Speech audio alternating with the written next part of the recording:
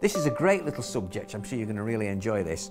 Uh, I've worked from a photograph of the Adirondacks uh, a national park quite near New York, I understand, in the USA. I've never been there, but we've got a member, Jim, who sent me some beautiful photographs of that area, and this is the second one we've used. So, big thank you to Jim for sending me the photo. I've painted on this smaller size. It's a little bit quicker to do, but nonetheless a bit tricky because it's getting that misty effect that really counts. That's what really matters. It doesn't take a long time to do it, but it takes a bit of concentration. I think you can really enjoy it though, and if you get this right, it's a really exciting one to do.